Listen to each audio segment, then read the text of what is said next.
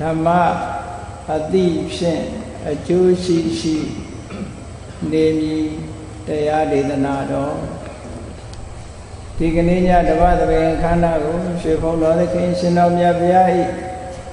မဟာကရုဏာကုံအာယုပြုကတိကျူဖွဲ့ဆိုအပ်သောဝန္ဒနာပနာမအာတိတဂါထာကိုရွတ်ဆိုပူဇော်ခြင်းဖြင့်စတင်ကြရအောင်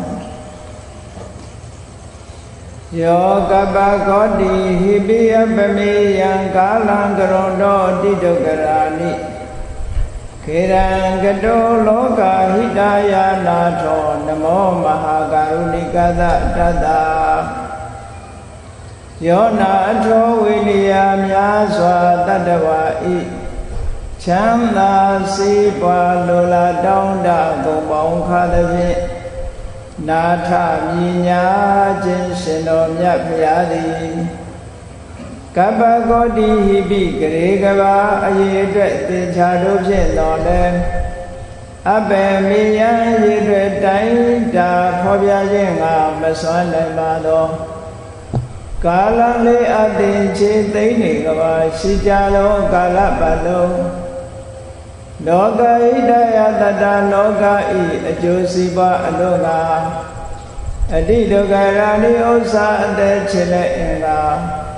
မေတ္တာကြီးမှသမိတာနှင့်တထာဇနီဆွန်ခြင်းကြီးဟုကျက်တိထဝေငါးတဲ့အစုအလုံးခဲရသောမူရောကိုကရွန်တော်ဖရာဖြစ်ရန်ဤတန်ကျုပ်ကိုအထုတော်မူရသည်ဖြစ်၍ ခေရလက်ချင်းမျက်လုံးအသက်ဆုံးရဲ့နှလုံးစိတ်ဝံကိုရောဤပြမန်းခြင်းတို့ကတောဘဝတဏ္ဍချိန်ခံများစွာရောက်တော်မူခဲ့ရရှာလေပြီမဟာကရုဏီကတတတဝါများယဝေတာကဲ့သို့တနာချစ်ခင်မဟာကရုဏာရှင်ဖြစ်တော်မူသောတတနာတတဝိနည်းများစွာတတဝါဤ ချမ်းသာစီးပွားလိုလားတောင်းတအကုန်ပေါင်းခါသည်ဖြင့်နာထအမိညာထိုရှင်တော်မြတ်ဗျာအားနမောယုတိပြောင်းပြောမှန်ကိုလျော်ဖြင့်ကရောယုကျုရှိခိုးခြင်းသည်အထုဘဝတုစင်စစ်မသွေဖြစ်ပါစေတည်း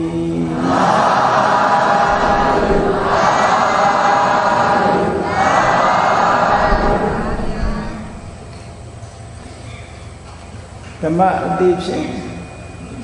အကျိုးရှိအောင်နေမည်လို့လူဘဝရလာတဲ့ပုဂ္ဂိုလ်တိုင်းပုဂ္ဂိုလ်တိုင်းမိမိတို့ဘဝမှာနေထိုင်တဲ့အခါအကျိုးရှိအောင်နေတတ်ဖို့အမြဲတမ်းအရေးကြီးပါတယ်အကျိုးဆိုတာဒိဋ္ဌဓမ္မိကအထမျက်မှောက်ဘဝမှာရတဲ့အကျိုးကတစ်မျိုး တံပရာယိကထလို့ခေါ်တဲ့တမနုံဘဝမှာရတဲ့အကျိုးလို့စာပေကျမ်းကများမှာဒီလိုအကျိုးနှမျိုးကိုသတ်မှတ်ပြထားတာရှိတယ်။အဲ့ဒီမဲ့မျက်မှောက်ဘဝမှာရရှိနိုင်တဲ့အကျိုးဆိုတာဒီဘဝမှာရှိတဲ့ဥစ္စာရတာလည်းအကျိုးတစ်မျိုးပဲ။ယာဓုဂုံသိဌာနန္တရရတာလည်းအကျိုးတစ်မျိုးပဲ။ ထူးခြားတဲ့ဂုံအညီသွေးတွေရတာလည်းတစ်မျိုးပဲစီးပွားဥစ္စာရတာလည်းပဲတစ်မျိုးပဲချမ်းချမ်းသာသာနေဖို့အခွင့်အရေးတွေရလာတာလည်းပဲဒီဘဝရဲ့အကျိုးလို့ဒီလိုပြောရဓမ္မလွန်ဘဝအကျိုးဆိုတာကြတော့လူတိုင်းလူတိုင်းဟာဒီဘဝမှာဆုံးသတ်ကြမှာမဟုတ်သေးလို့ရှိရင်နောင်ဓမ္မလွန်ဘဝဆိုတာရှိနေသေးတယ်ရှိနေသေးသည့်အတွက်ကြောင့် ဒီဘဝအရေးတွေမစဉ်းစားပဲနဲ့နောက်ဘဝအရေးကိုလည်းပဲစဉ်းစားရမယ်တဲ့နောက်ဘဝအရေးအတွက်လည်းရှိတဲ့ရှိတဲ့အကြောင်းတရားများရှိအောင်လုံးမကောင်းတဲ့အကြောင်းတရားတွေမိမိတဏ္ဍာမှာရှိမှနောက်ဘဝမှာကောင်းကျိုးချမ်းသာရနိုင်တယ်လို့ဒိဋ္ဌဓမ္မိကအထမြမောဘဝမှာရမယ်အကျိုး တံပရာယိကထလို့ခေါ်တဲ့တမန်တော်ဘဝမှာနောက်ဘဝမှာရနိုင်တဲ့အကျိုးတဲ့အဲ့ဒီအကျိုးနှမျိုးလုံးရရှိအောင်ဓမ္မအတိနဲ့နေဖို့လိုတယ်လို့အဲ့ဒါလို့ဓမ္မအတိနဲ့ဓမ္မအတိဆိုတာဒီနေရာမှာဓမ္မဆိုတာအမှန်အမှားကိုခွဲခြားသိတိုင်အောင်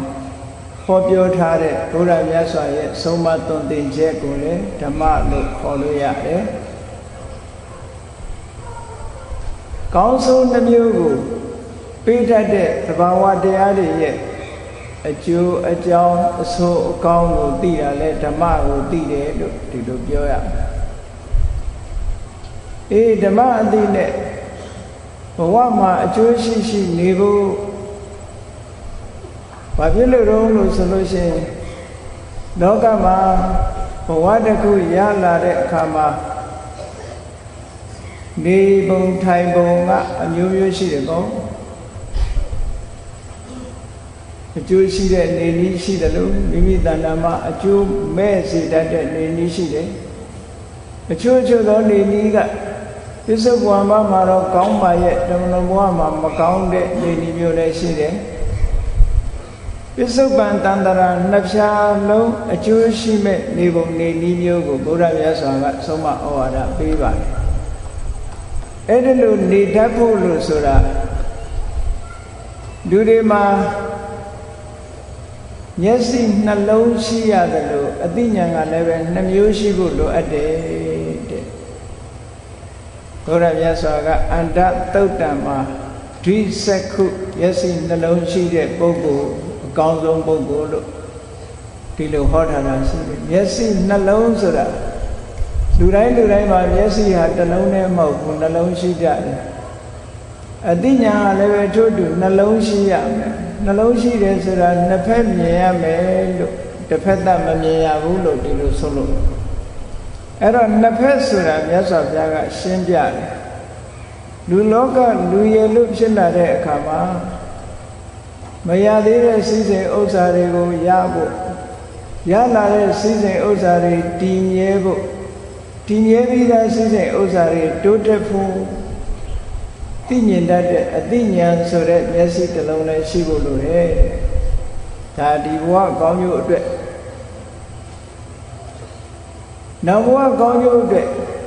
ကုသိုလ်အကုသိုလ်အပြစ်ရှိတယ်အပြစ်မရှိဘူး ဓမ္မရေးရနဲ့ပတ်သက်တဲ့သိတဲ့ပညာမျက်စိမျိုးကလည်းပဲနောက်ထပ်လိုအပ်တယ်။ဘာဖြစ်လို့လဲဆိုတစ်ခုနဲ့တစ်ခုထိမ့်ညှိပြီးတော့ပေးရမယ်။လောကအကျိုးကြီးကြိုးစားမယ်ဆိုလို့ရှိရင်တန်တရားအကျိုးကလစ်လက်သွားတတ်တယ်။ဒါကြောင့်မို့လောကအကျိုးတန်တရားအကျိုးနှမျိုးလုံးကိုမြင်နိုင်တဲ့အသည့်နှမျိုးနဲ့ထိမ့်ကွက်ပေးရမယ်လို့ဒီလိုဆုံးလို့တာ။အဲ့တော့တနည်းအားဖြင့်ပြောမယ်ဆိုလို့ရှိရင် လူတွေမှာစီးပွားဥစ္စာတိုးတက်လာတော့လေကိုချင်းတရားဆိုးရုပ်ပြပြသွားလို့ရှိရင်ကောင်းကျိုးချမ်းသာတွေဟာတဖြည်းဖြည်းဆိုးရုပ်သွားနိုင်တယ်။ဒါကြောင့်မို့စီးပွားရေးဘက်ကလည်းတိုးတက်အောင်လုပ်ရမယ်။ကိုချင်းတရားဘက်ကလည်းတိုးတက်အောင်လုပ်ရမယ်။ဒီလိုဆုံးလို့တာနော်။ကိုချင်းတရားလည်းတိုးတက်ရမယ်။စီးပွားလည်းတိုးတက်ရမယ်။နှမျိုးနှစာတိုးတက်ကြီးပွားအောင် ကြံဆောင်သိမြင်တဲ့အသိပညာမျိုးကိုဒီနေရာမှာမျက်စိနှလုံးလို့ဒီလိုခေါ်တာစီးပွားရေးမျက်စိရှိရမယ်ပညာရေးဓမ္မရေးရာမျက်စိလည်းရှိရမယ်ဓမ္မရေးရာမျက်စိဖြင့်တိုးတက်လာတဲ့စီးပွားရေးရဲ့စီးပွားရေးတိုးတက်မှုကိုအကြောင်းပြုပြီးတော့အကျင့်စာရိတ္တမပြည့်ပြားအောင်ထိတ်ကွက်ပြီးတော့ပေးတယ်တဲ့လိုဆိုလို့ကဲကောင်းပြီ စီးပွားရေးမျက်စိတော့ရှိပါရဲ့ဓမ္မရေးရမျက်စိမရှိဘူးဆိုရင်ဘာဖြစ်တတ်တယ်လဲလို့ဆိုလို့ရှိရင်အေးစီးပွားရရင်ပြီးရောဘာမဆိုလုံးမယ်ဆိုတဲ့အတွေးခေါ်တွေဝင်လာတတ်တယ်တစ်ဖက်ကထိန်းထားရမယ်အဲ့ဒီလိုထိန်းတိုင်းမရှိဘူးဆိုလို့ရှိရင်ကိုချင်းတရားပြက်ပြားပြီးတော့စီးပွားရှာတတ်တယ်ကိုချင်းတရားပြက်ပြားပြီးတော့ရလာတဲ့စီးပွားဥစ္စာဟာတည်ငြိမ်မှုနဲ့တည်မြဲမှုမရှိဘူးတဲ့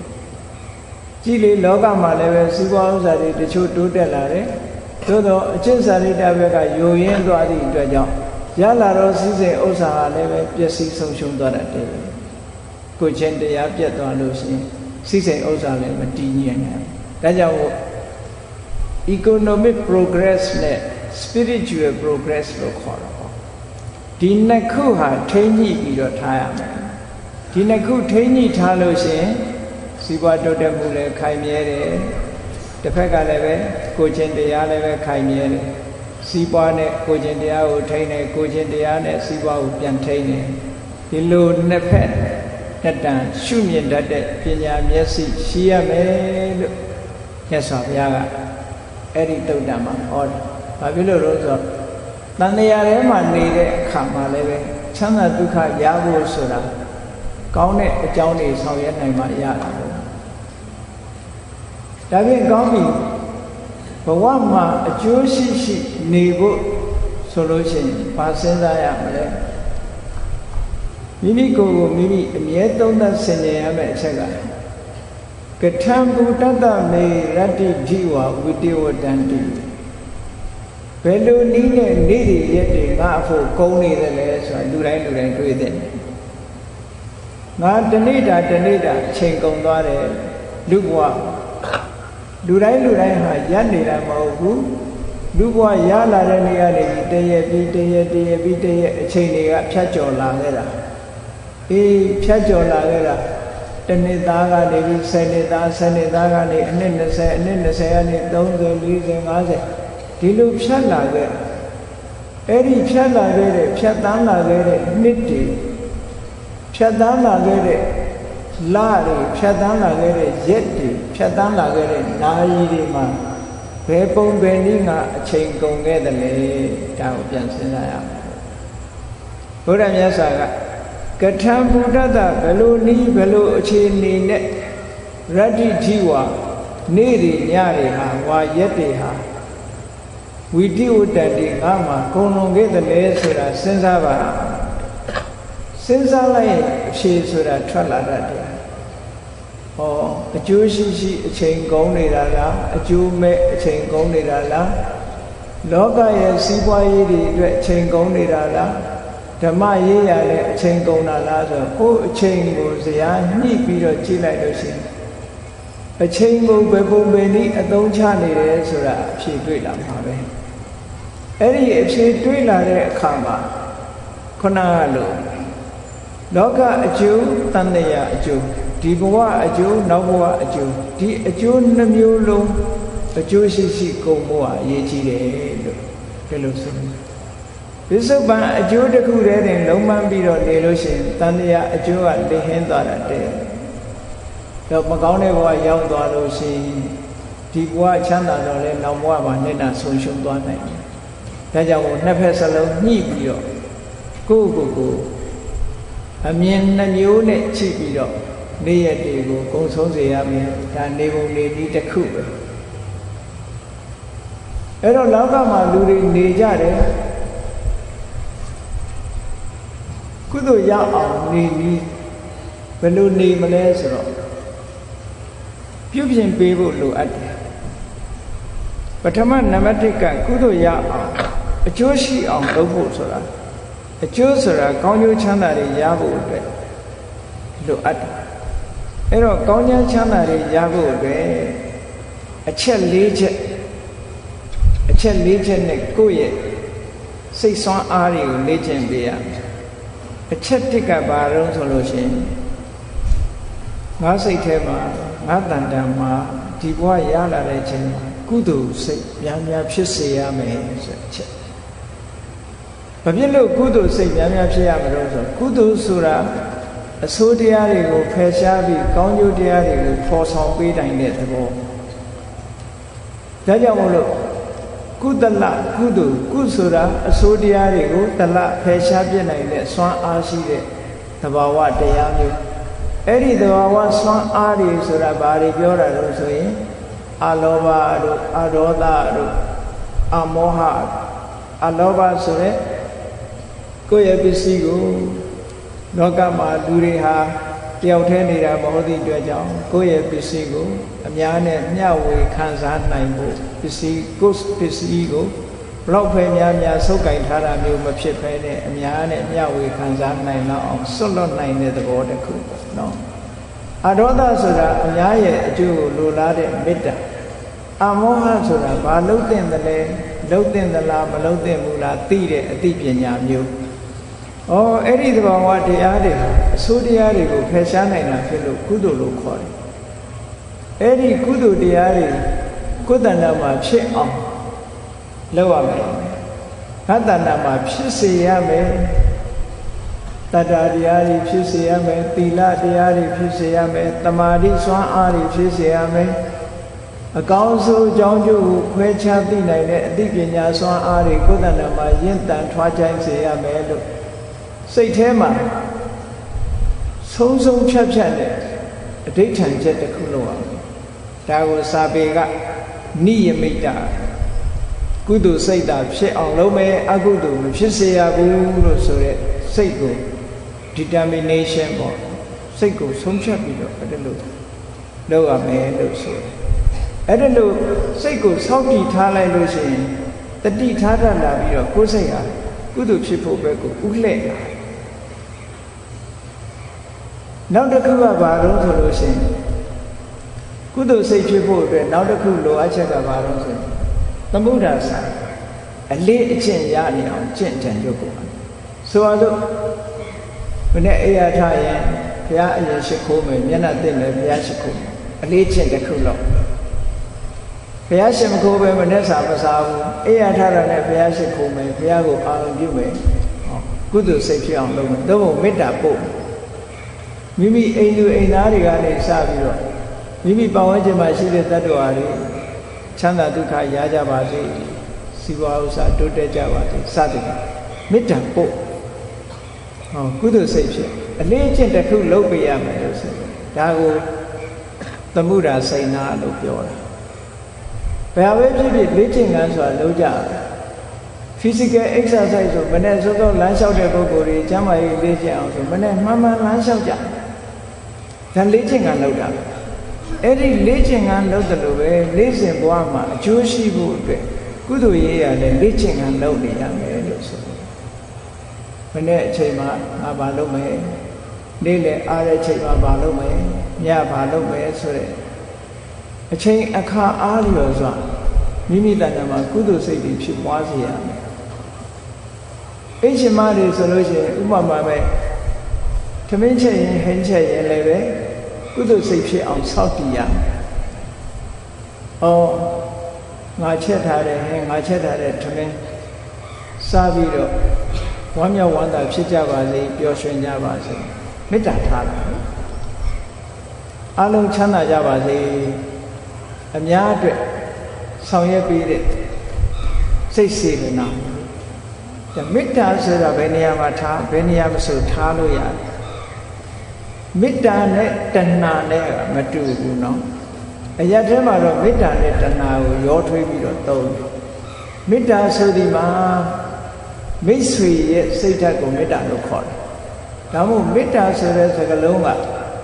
မိတ္တဆိုတဲ့ပုဂ္ဂလာမိတ္တတာအေးတာမေတ္တာမိတ္တတာမိတ်ဆွေတငယ်ချင်းဤအေးတာစိတ်ဓာတ်ဒီဖြစ်ပေါ်လာတဲ့ဥစ္စာဒီဒါကြောင့်မေတ္တာ မိတ်ဆွေရဲ့စိတ်ဓာတ်မိတ်ဆွေရဲ့တဏ္ဍာမှာဖြစ်ပေါ်လာတဲ့သဘာဝတရားမျိုးကိုမေတ္တာအဲ့တော့မိတ်ဆွေရဲ့တဏ္ဍာမှာဘာဖြစ်တုံးဆိုလို့ရှိရင်ကောင်းကျိုးလိုလားတဲ့စိတ်တွေဖြစ်တယ်လေမိမိနဲ့ခင်မင်နဲ့တငယ်ချင်းတွေကြီးပွားစေခြင်းနဲ့တိုးတက်စေခြင်းနဲ့ကြီးပွားတဲ့တိုးတက်တဲ့ကြာရင်ဝမ်းသာတယ်ဟောဒီစိတ်ဓာတ်မျိုးဟာရန်သူပေါ်မှာထားတဲ့စိတ်ဓာတ်မျိုးမဟုတ်ဘူးအားလုံးပေါ်မှာအဲ့ဒီလိုမိတ်ဆွေစိတ်ဓာတ်ပွားနိုင်အောင်လုပ်တာ မေတ္တာထားနိုင်တယ်လို့ပြောတယ်နော်အဲ့တော့မေတ္တာဆိုတာရင်ထဲနှလုံးထဲမှာအမုန်းတရားတွေကိုဖယ်ရှားပြီးတော့အကျိုးလိုလားတဲ့စိတ်ဓာတ်မျိုးမေတ္တာအဲ့တော့မေတ္တာပွားမယ်ဆိုလို့ရှိရင်ဘယ်ချိန်မှဆိုပွားလို့ရဆိုပါစို့မေတ္တာကလည်းပဲတကယ်ကတော့မေတ္တာစိတ်ဆိုတာမနောကံစိတ်ကလောက်ရမယ်ဟာပေါ့ စိတ်ကလောက်ပြီးတော့ခန္ဓာကိုယ်နဲ့ပြရတဲ့ကာယကံမေတ္တာမျိုးလည်းရှိတယ်ဝစီကံနဲ့ပြရမယ်နှုတ်ကနေပြောရမယ်ဝစီကံမေတ္တာမျိုးလည်းရှိတယ်မနောကမေတ္တာဆိုတာစိတ်ထဲကတ attva တွေချမ်းသာကြပါစေဝစီကံမေတ္တာဆိုတာတဦးနဲ့တူအကြံဉာဏ်ပေးတယ်ကောင်းတဲ့အကြံဉာဏ်ပေးတယ်ဟာဒီလမ်းတော့မသွားနဲ့ဒီလမ်းမှာအန္တရာယ်ရှိတယ်ဟာဒီနေရာတော့မနေသေးဘူး ဒီလုတ်တော့မလုတ်တဲ့ဘူးဒီလုတ်လို့ရင်ပိုကောင်းတယ်ဟောအကြံဉာဏ်ပေးတယ်ဒါဝစီကံမေတ္တာလို့ခေါ်တယ်မေတ္တာစိတ်နဲ့အကြံကောင်းညာကောင်းတွေပေးနေတာဝစီကံမေတ္တာကာယကမေတ္တာဆိုတာသွားရင်လာရင်ကနေစူးလေးတွေတွေ့ဘေးဖယ်သွားတယ်အေးမတိုက်မခိုက်ပြီးကြပါစေနဲ့ကာယကမေတ္တာအိမ်မှာအလုပ်လုပ်ရင်းကလည်းပဲထို့တူပဲနော်အိမ်သူအိမ်သားတွေချမ်းသာဖို့အတွက်ကိုက ဆောင်ရွက်လုပ်ကင်ပြီးတော့ပေးနေတယ်ဆိုတော့ဒါကာယကမေတ္တာပဲဖြစ်တယ်တော့ကာယကမေတ္တာဖြစ်တယ်ဝစီကမေတ္တာဖြစ်တယ်မနောကမေတ္တာဖြစ်တယ်ဟောမေတ္တာကံနေနဲ့နေပြီဆိုလို့ရှိရင်ခုနကကုသိုလ်နဲ့နေတာပဲအကျိုးရှိတဲ့နေဒီကတော့ဒီလိုပြောဝေယဝိဇ္ဇလုံရင်ဘယ်နေရာမှာပဲဖြစ်ဖြစ်စိတ်ဓာတ်ကိုဖြူစင်အောင်ထားပြီးတော့နေမယ်ဆိုလို့ရှိရင်ကောင်းကျိုးချမ်းသာတွေကဖြစ်ပွားစေတာ အချိန်ဆိုတာရွေးเสียမလို့ဘူးအခါဆိုတာလည်းရွေးเสียမလို့ဘူးဘယ်နေရာမှာပဲဖြစ်ဖြစ်မိမိစိတ်ကလေးကညွတ်ပြီးတော့နေတာဒါကြောင့်မလို့ငါတဏ္ဍာမှာကုသိုလ်တွေပဲများများဖြစ်စေရမယ်မြင်မြင်နဲ့များမေတ္တာပွားနိုင်ရမယ်လို့နိမိတလို့ဆိုတဲ့ determination နောက်တစ်ခုကပရိနာမအမြဲတမ်းကိုယ်စိတ်လေးကကောင်းတဲ့ဘက်ကိုညွတ်နေအောင်လေ့ကျင့်ပေးရဆိုပါစို့ ကောင်းတဲ့ဘက်ညွတ်နေအောင်ဆိုလို့ရှိရင်တယောက်တည်းမှာအေးအေးဆေးဆေးနေမိပြီဆိုလို့ရှိရင်ဘာတွေအတွေးများတယ်လဲကိုယ့်ကိုယ်ချက်ကလုပ်ကြည့်နော်မင်ဒရချက်ကတော့ကိုယ့်ကိုယ်ကိုစစ်စစ်ကြည့်အဲ့တော့ကိုယ်စိတ်လေးဟာကောင်းတဲ့ဘက်ပဲညွတ်နေစေရမယ်မကောင်းတဲ့ဘက်အညွတ်များနေလို့ရှိရင်ဟောကောင်းတဲ့ဘက်ကိုညွတ်စေရမယ်လို့ဆိုပြီးစိတ်ကလေးကိုအမြဲတမ်းကောင်းတဲ့ဘက်ကိုဥလှည့်ပေးနေရ မေတ္တာပွားဖို့ဥလှည့်ပေးရမယ်ကောင်းကျိုးချမ်းသာလိုလားတဲ့စိတ်တွေဖြစ်ပွားဖို့ဥလှည့်ပေးရမယ်ကုသိုလ်တရားရဖို့ဥလှည့်ပြီးတော့ပေးရမယ်ဒါလေ့ကျင့်ပေးလို့ရှိရင်ဖြစ်လာတယ်နောက်တစ်ခုကတော့နှလုံးသွင်းတရားနှလုံးသွင်းဆင်ခြင်မှုကအလွန်အရေးကြီးတယ်ဒါကြောင့်မို့ဘုရားမြတ်စွာကဒီနှလုံးသွင်းဆင်ခြင်တာကိုယောနိသောမနတိကာရ wise attention ဟော မှန်မှန်ကန်ကန်စဉ်းစားတာအသိဉာဏ်နဲ့စဉ်းစားတာလိမ္မာပဏ္ဏစွာစဉ်းစားတတ်တာဒါကိုယောနိသောမနတိကာရလို့ခေါ်တယ်ဘယ်ကိစ္စပဲဖြစ်ဖြစ်ယောနိသောမနတိကာရမထားနိုင်လို့ရှိရင်ကုသိုလ်ရကြမှာရကုသိုလ်လုပ်နေတောင်မှကုသိုလ်မရတတ်ဘူးတဲ့ကုသနာမှာကုသိုလ်ဖြစ်အောင်မှာယောနိသောမနတိကာရရှိရမယ်ဒါကြောင့်မို့စာပေကျမ်းဂန်မှာ ယေကေစိကုသလဓမ္မာသဗ္ဗေတိယောနိသောမနတိကာရမူလကကုသိုလ်မှန်တယ်မြတ်ယောနိသောမနတိကာရပေါ်မှာအခြေခံတယ်လို့ဒီလိုမြတ်စွာဘုရားဟောတာအဲ့တော့ယောနိသောမနတိကာရဆို wise attention ပဲဆိုပါစို့ဒေါသထွက်เสียကိစ္စလေးတစ်ခုလူတယောက်နဲ့ပတ်သက်ပြီးတော့ဒေါသထွက်เสียကိစ္စလေးတစ်ခုကိုယ်အနိပတ်ဝန်းကျင်နဲ့ပတ်သက်ပြီးဒေါသထွက်เสียလေးကိစ္စတစ်ခုကြောင့် ကြမ်းကြမ်းထန်ထန်စကားပြောမိမယ်ဆိုရင်ဆင်ញင်ကြည့်လိုက်။အော်ကြမ်းကြမ်းထန်ထန်ပြောတဲ့စကားငါပြောရင်လည်းမကြိုက်ဘူး။ငါလည်းကြိုက်မှာမဟုတ်ဘူး။သူပြောလဲသူလည်းကြိုက်မှာမဟုတ်ဘူး။အဲ့တော့ချိုးချိုးသားသားပြောပြီးတော့သူ့ကိုဖြောင်းပြတာကောင်းတယ်ဆိုဒါယောနိတောင်တတိကလာလို့ခေါ်တယ်။ကြမ်းကြမ်းထန်ထန်ပြောလိုက်တဲ့စကားသည်တစ်ဖက်သားကိုနုညံ့မသွားစေပို့ပြီးတော့ကြမ်းတမ်းသွားစေ ပြောတဲ့ပုဂ္ဂိုလ်ကလည်းကြမ်းတမ်းတယ်နားထောင်ရတဲ့ပုဂ္ဂိုလ်ကလည်းစိတ်ထဲမှာကြမ်းတမ်းသွားတယ်အဲ့ဒီနှစ်ခုကိုနှလုံးသွင်းဆင်ခြင်လိုက်လို့ရှိရင်ယောနိသောနတိကာရနဲ့ဆင်ခြင်စဉ်းစားကြည့်လို့ရှိရင်အော်ငါ့ကိုကြမ်းကြမ်းထန်ထန်ပြောရင်ငါကြိုက်သလားမကြိုက်ဘူးငါမကြိုက်လို့ရှိရင် तू လည်းမကြိုက်ပေဘူးအဲ့တော့ငါကြမ်းတမ်းတဲ့စကားကိုပြောဘူးလူညံ့တဲ့စကားနဲ့ပြောမယ်အကျိုးရှိအောင်ပြောမယ်လို့ ဟောတယ်လို့တစ်ဖက်ကနေတွေးပြီးတော့ဆင်ញင်လိုက်လို့ရှိရင်ဒီလိုဆင်ញင်တာနှလုံးသွင်းတာကိုယောနိတော်မြတ်တိကာရလို့ခေါ်တယ်ဘယ်ရာပဲဖြစ်ဖြစ်တစ်ဖက်ကနေကြည့်ရင်ဒေါသထွက်เสียဖြစ်ပေမဲ့လို့တစ်ဖက်ကကြည့်ရင်ကျေးဇူးတင်เสียမျိုးရှိတတ်တယ်အဲ့တော့ဒေါသဖြစ်မဲ့ဘက်ကနေမစင်စားနဲ့ကျေးဇူးတင်เสียဘက်ကစဉ်းစားအမြဲတမ်းအဲ့ဒီလိုစဉ်းစားရင်ဘာအကျိုးရှိတုံးလို့ဆိုရင်ကိုယ်တဏ္ဍာမှာအမုန်းတရားကင်းခြင်းအကျိုးရှိတယ်ပေါ့ ယင်တဲ့နှလုံးထဲမှာအမုန်းကင်းပြီဆိုလို့ရှိရင်စိတ်မချမ်းသာပဲဘူးလားစိတ်ထဲမှာကြည်နူးရဟုတ်ကဲ့ယင်တဲ့နှလုံးထဲမှာအမုန်းကင်းလို့ရှိရင်စိတ်နှလုံးကကြည်လင်အေးမြတယ်ဒါလက်တွေ့ရတဲ့အကျိုးတစ်ခုဘုရားမြတ်စွာဟောတဲ့တရားဓမ္မတွေဆိုတာလက်တွေ့ကျင့်သုံးလို့ရတဲ့တရားတွေဘဝနေနည်းတွေ way of life လို့ခေါ် the way of life ဘဝတစ်ခုကဘယ်ပုံပဲနည်းနေရမယ်ဆိုတာမြတ်စွာဘုရားကဟောတာအဲဒါကြောင့်မလို့ကုသိုလ်ဖြစ်ဖို့ရအတွက်ဟောဒီအချက်၄ချက်ဟာအရေးကြီးတယ်တဲ့စိတ်ကို determination တန်ဋိဌာန်ချထားရမယ်ကုသိုလ်ပဲဖြစ်အောင်လုပ်မယ်လို့တန်ဋိဌာန်ချထားရမယ်အမြဲတမ်းကုသိုလ်ဘက်ကိုစိတ်ညွတ်ထားရမယ် လေးကျင့်ကံယူရမယ်ကုသိုလ်စိတ်ကိုအမြဲတမ်းလေးကျင့်ပေးရမယ်နောက်တစ်ခုကယောနိသောမနတိကာရဆိုတဲ့မှန်ကန်တဲ့နှလုံးသွင်း wise attention ရှိရမယ်အဲ့ဒါဆိုလို့ရှိရင်အကုသိုလ်တွေနည်းသွားပြီးတော့ကုသိုလ်တွေများလာကုသိုလ်တွေများလာခြင်းအပြင်ဘဝတစ်ခုအရာရာမှာအဆင်ပြေလာပြီးတော့ဒီဘဝမှာလည်းကောင်းကျိုးချမ်းသာတွေရနိုင်တယ်။ နောက်ဘဝမှာလည်းကောင်းကျိုးချမ်းသာတွေရတယ်။နှစ်ဖက်အကျိုးရှိအောင်နေအလုပ်တစ်ခုလုပ်လို့ရှိရင်ပင်ပန်းလာတဲ့အခါအိုးငါကြီးပဲလုပ်တာသူတို့ကတော့အေးစိတ်စိတ်နေတယ်စိတ်တိုးတယ်ဟောဒီလိုစဉ်းစားလိုက်လို့ရှိရင်ဩငါလုပ်ပေးတာငါတတ်နိုင်လို့ငါလုပ်ပေးတယ်ငါလုပ်ပေးသည့်အတွက်ကြောင့်အများချမ်းသာသွားရင်စိတ်ကြည်နူးရဒီလိုတစ်ဖက်ကစဉ်းစားလိုက်လို့ရှိရင်ငါအများအတွက်လုပ်ပေးပြီ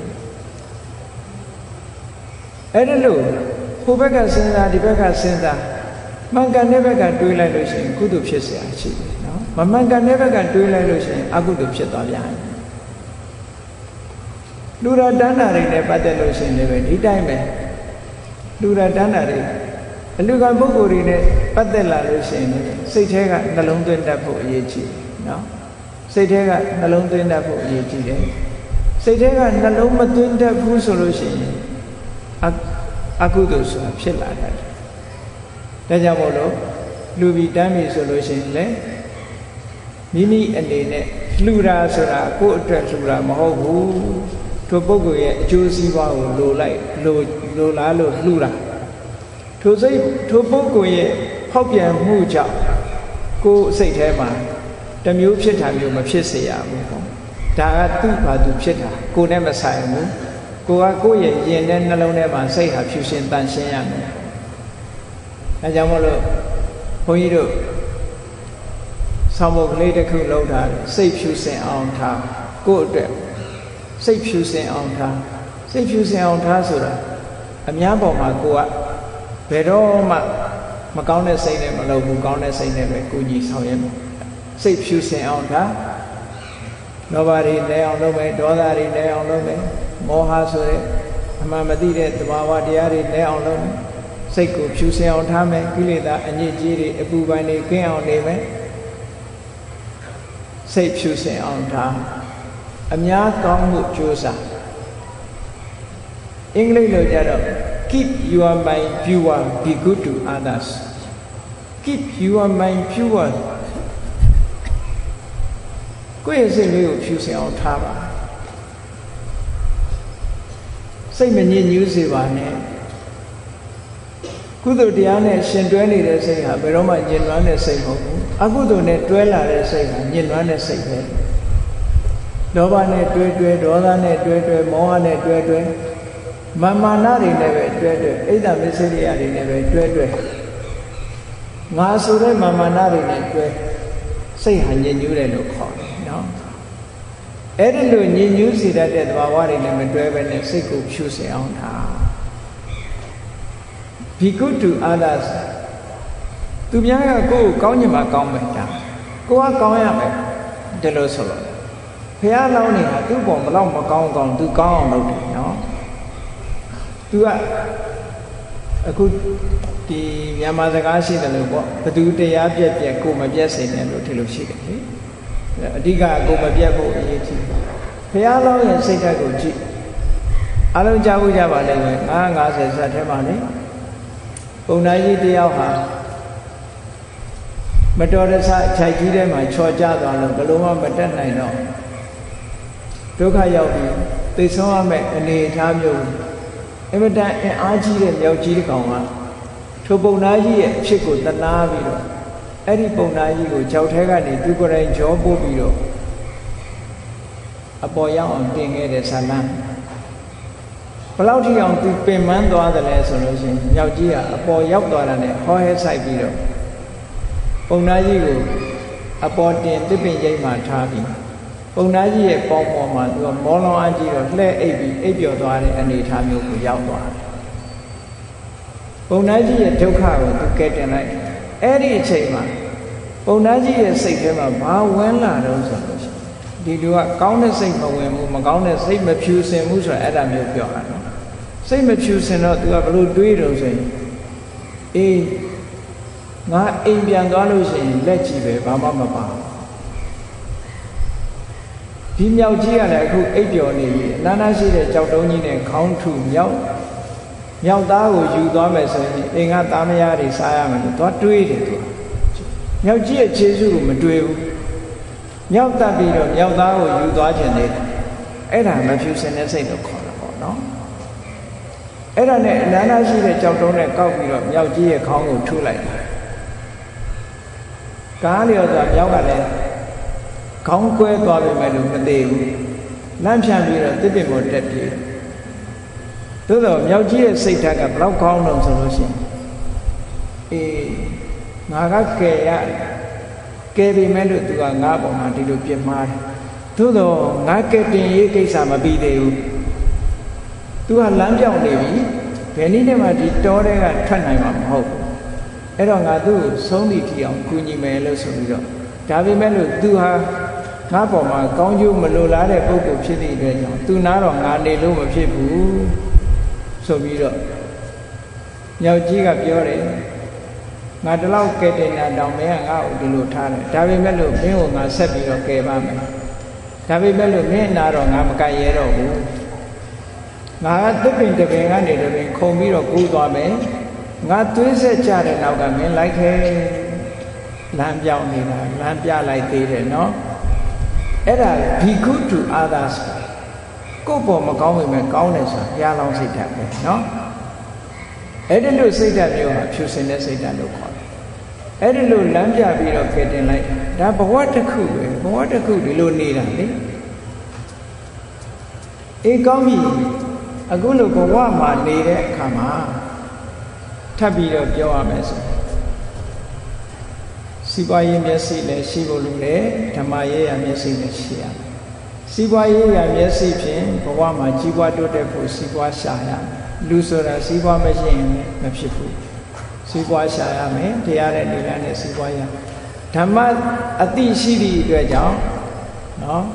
ထိုစီးပွားရှာတဲ့ဤကိုထိန်းတာမကောင်းတဲ့နေနဲ့စီးပွားမရှာဘူးကောင်းတဲ့နေနဲ့စီးပွားရှာတယ်ကိုချင်းတရားနဲ့စီးပွားရှာနည်းကိုထိန်းထားသည့်အတွက်ကြောင့်ထိုပုဂ္ဂိုလ်ရလာတဲ့စီးပွားသည်ဓမ္မလတ္တတရားသဖြင့်ရတဲ့စီးပွား အဲ့ဒီတရားသဖြင့်ရတဲ့စီးပွားနဲ့ခုနကဓမ္မအသိဉာဏ်နဲ့နှစ်ခုပေါင်းပြီးတော့မိမိကိုယ်တိုင်လည်းချမ်းသာအောင်နေတယ်မိမိပတ်ဝန်းကျင်ကိုလည်းချမ်းသာအောင်ထားတယ်မိဘကိုလည်းလှူကျွေးတယ်ဆွေမျိုးသားချင်းတွေကိုလည်းထောက်ပံ့တယ်မိမိကိုးကွယ်တဲ့ဘာသာတရားကိုလည်းထောက်ပံ့တယ်ဆိုတဲ့အလုပ်တွေလုပ်တာဒါအကောင်းဆုံးလုပ်တဲ့လုပ်နည်းကဘဝမှာနော် ဘုရားမြတ်စွာကဒီလိုလမ်းညွှန်ထားတယ်ကဲကောင်းပြီနေ့စဉ်ဘဝတစ်ခုကျိုးရှိအခြေခံအားဖြင့်အကျိုးရှိအောင်နေတယ်ဆိုတာအကုသိုလ်မဖြစ်အောင်နေ့စဉ်ဘဝလူဖြစ်လာရင်စီးပွားရှာရမှာပဲမရှာလို့မရဘူးเนาะစီးပွားရှာရမယ်လူရဲ့လုပ်ငန်းတာဝန်တွေကိုဆောင်ရွက်ရမယ်ဆောင်ရွက်တဲ့အခါမှာစိတ်ဖြူစင်အောင်ထားပြီးဆောင်ရွက်တာကိုဆို ငါလုပ်တဲ့အလုပ်တွေအများအတွက်အကျိုးဖြစ်ပါစေငါလုပ်တဲ့အလုပ်တွေအများအတွက်အကျိုးဖြစ်တဲ့အလုပ်ဖြစ်ရမယ်လို့ဒီလိုစဉ်းစဉ်းစားပြီးတော့လုပ်သွားမယ်ဆိုရင်ဘဝအတွက်အကျိုးရှိအကျိုးရှိအောင်လေကဲပြီးတဲ့အကျိုးရှိအောင်အစစ်မြင့်မြင့်လူဆိုတာသူ့အဆင့်နဲ့သူသွားရတာလေအဲ့တော့ဓမ္မအတိနဲ့နေဆိုလို့ရှိရင်ဒီတဲ့အကျိုးရှိတဲ့နေနီးကားဆိုတာဘာနဲ့နေရ လောကမှာနေကြပုံတွေကိုပြန်ပြီးတော့ကြည့်မယ်ဆိုရင်ပညာမဲ့တို့ရဲ့နေနည်းနဲ့ပညာရှိတို့ရဲ့နေနည်းကမတူဘူးပညာမဲ့တဲ့ပုဂ္ဂိုလ်ကတော့ဒီဘဝကောင်းစားရင်ပြီးရောဒီဘဝကောင်းစားပြီးရောဆိုပြီးတော့အကျိုးအကြောင်းအဆိုးကောင်းလည်းမစင်စားဘူးရရင်ရတယ်လို့ဒီပညာမဲ့တဲ့ပုဂ္ဂိုလ်ကြတော့ဘာကိုပဲအာယုံပြုလို့ဆိုရင် စားဖို့တောက်ဖို့ပျော်ဖို့ပါဖို့ကလွဲရင်ဒီပြင်ဘာမှမစင်စားဘဝတစ်ခုလေးအတွက်ကိုစဉ်းစားတယ်ပညာနဲ့နေတာကြတော့အသက်ရှင်တဲ့ထဲမှာအသက်မွေးတဲ့ထဲမှာပညာနဲ့အသက်မွေးတာပညာနဲ့အသက်ရှင်တာအကောင်းဆုံးအဲပညာနဲ့အသက်ရှင်တယ်ဆိုတာခုနလိုစဉ်းစားပြီးတော့အသက်ရှင်ဘယ်လိုနည်းနဲ့ငါနေ့ရညတွေကုံသွားသလဲဆိုတာကိုယ့်ကိုယ်ကို စစ်ဆေးပြီးတော့ကောင်းတဲ့နည်းနဲ့ကုံအောင်လေ့ကျင့်ပြီးတော့သွားတာကောင်းတဲ့နည်းနဲ့အသက်မွေးဟောဒီကိစ္စနဲ့ပတ်သက်ပြီးတော့မြတ်စွာဘုရားသခင်ကိုရောမြတ်လက်ထက်တော်ခါကာလတုန်းကမြတ်စွာဘုရားရဲ့နောင်တော်ဝမ်းခွဲဖြစ်တဲ့မဟာနာမဆိုတာရှိသာသနာတော်မှာဒိဗ္ဗစကုအရာဣတရေရတဲ့ရှင်နုရုဒ္ဓရဲ့အကိုအရင်မဟာနာမဆိုတော့တာကိဝေမင်းသားရှိအဲ့ဒီတာကိဝေမင်းက သူ့ရဲ့ဓမ္မအဆင့်ကပဲရောက်နေတော့ဆိုရင်နော်သူ့ရဲ့ဓမ္မအဆင့်ကတက္ကရာကအဆင့်ရောက်သောတာပန်ဖြစ်ပြီးလို့သောတာပန်ကနေပြီးတော့အဆင့်တက်သွားလို့တက္ကရာကတိဖြစ်သွားပြီအဲ့ဒါလို့တက္ကရာကအဆင့်ရောက်တဲ့အခါမှာမြတ်စွာဘုရားကိုလျှောက်တယ်အရှင်ဘုရားတဲ့တပည့်တော်တို့ဘဝတစ်ခုရလာတဲ့အခါမှာ လူတွေဟာတယောက်နဲ့တယောက်မတူကြဘူးနေတာထိုင်တာဤအမျိုးမျိုးနဲ့နေနည်းထိုင်နည်းအမျိုးမျိုးနဲ့ဘဝမှာနေထိုင်ရတယ်တဲ့အဲ့ဒီနေထိုင်တဲ့ထဲကတပည့်တော်တို့အဖို့ဘယ်လိုနေနည်းနဲ့နေပိုကောင်းမလဲသူမေးကောင်းကအလောမှတ်သားစရာကောင်းတယ်နော်ဘဝမှာဘယ်လိုနည်းနဲ့နေပိုကောင်းမလဲဗျာလို့ဆိုတော့မြတ်စွာဘုရားက အစင့်မြင့်တဲ့ဓမ္မအနေအားဖြင့်ဒီနေရာမှာဟောထားတာနော်အခြေခံအားဖြင့်တော့ခုနလိုနေရမှာတခြားသုတ်တန်တွေမှာမြတ်စွာဘုရားဟောထားတာအခြေခံအားဖြင့်ခုနလိုနေရမှာဘဝအဲ့တော့ဒီနေရာမှာပြောရမယ်ဆိုလို့ရှိရင်လူလောကရောက်လာတဲ့လူတွေဟာလူဘဝရလာတဲ့ဆိုတဲ့ကုသိုလ်ကံကြောင်းရတယ်သို့တော့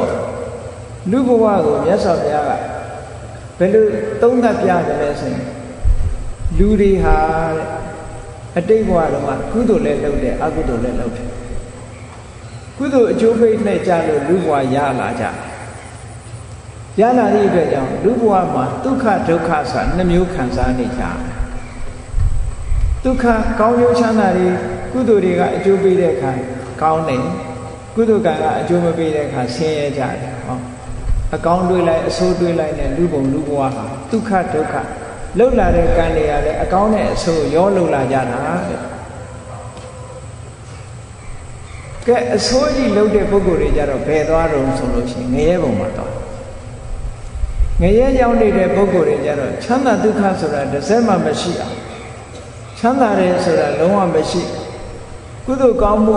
ဖြစ်ဖို့အနေထားလုံးဝမရှိတဲ့အပေပုံဘဝ ရောက်နေတဲ့ပုဂ္ဂိုလ်တွေကအကုသိုလ်ကံတက်တက်နဲ့လှုပ်လာခဲ့တဲ့ပုဂ္ဂိုလ်တွေအကုသိုလ်ကံအကျိုးပေးလို့ငရဲပုံရောက်သွားတယ်